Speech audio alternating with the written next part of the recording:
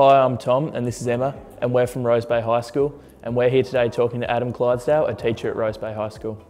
So what's your role here at Rose Bay High School? I'm Head of Health and Physical Education. So what does a typical day look like? A typical day for me at Rose Bay High can be very varied. Um, I teach a lot of different classes, so it could range from grade 7 health teaching about sexuality in the morning to in the afternoon teaching a grade 9-10 sports science class about what's coming up for the Olympics for example. So what's your favourite part about being a health and physical education teacher?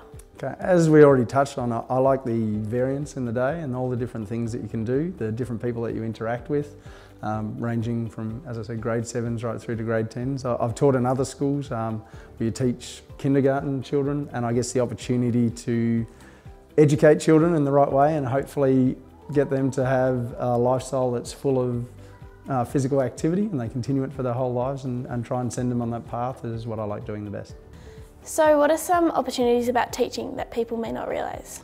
I think once you gain a teaching qualification, I guess the whole world sort of opens up to you. A lot of the people that I went through university with didn't go on to become health and physical education teachers.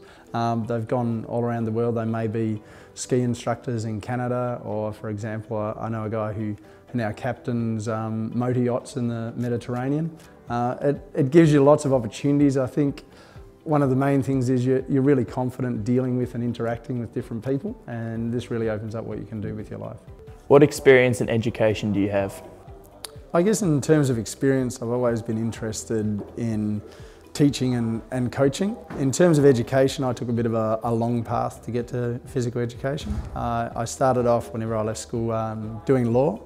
I found after three years of undertaking a law degree that it wasn't really for me and then I returned to what I always wanted to do, which was health and physical education teaching, and I did a Bachelor of Human Movement at the University of Tasmania in Launceston.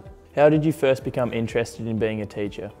I guess like a lot of people that go into teaching, they had a teacher in school that motivated them and inspired them, I guess. And I had a couple of teachers I was lucky enough to be taught by a Mr. Bruce, who I think still teaches, and he really got me interested in teaching, seeing what it could do for children and how it could motivate them and, and change their lives in some instances. So that got me interested in becoming a teacher. For someone wanting to get into teaching, what pathway should they be looking at?